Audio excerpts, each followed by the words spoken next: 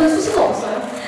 어, 아, 일단은 제가 그, 뭐지, 뭐랄까, 잘 몰랐어가지고, 그냥 이제 처음에는 당연히 초반이니까 많이 어색할 수, 할 수도 있고 그렇잖아요. 근데 이제 또 동갑이기도 하고, 그래서, 아, 동갑이 아니지만 동갑이는 그런 느낌으로 가고 있거든요. 그런 느낌이라는 느낌으로.